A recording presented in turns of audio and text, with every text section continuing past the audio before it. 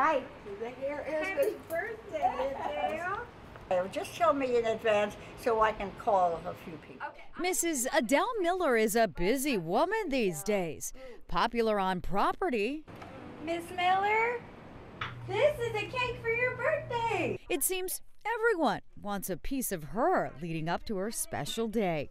August 11th, 1913, Brooklyn, New York. I lived on Humboldt Street, but I feel 102 is pretty good because I still know what I'm saying. I may not hear too well, but I still know, I think I know what I'm saying. So just ask the questions. We'll start with what most want to know what's the secret to longevity? I haven't the slightest idea. Well, I count my blessings. And Mrs. Miller says she does stay active around her apartment. She talked about her collection of antiques. She likes to sew too. Somebody gave me this piece, so I dug out this, and I haven't figured out yet what I'm going to do. My first job was um, for the State Relief Administration in 1932. These are the stories about Norman. This was presented to me a couple of years ago. Your son became the first Jew to ever play for the Houston Astros, making history in 1965. That's how Mrs. Miller ended up in Houston. Here are all the newspaper clippings about him.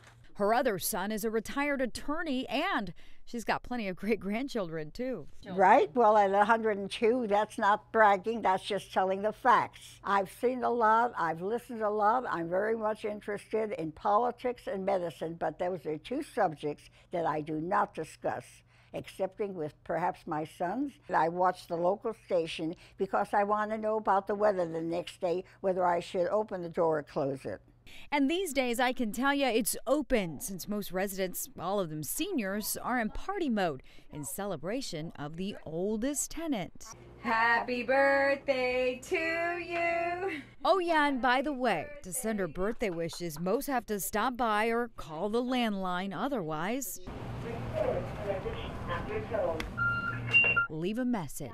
Was that an answering machine I heard, by the way? Yeah, there it is. Do you have a cell phone?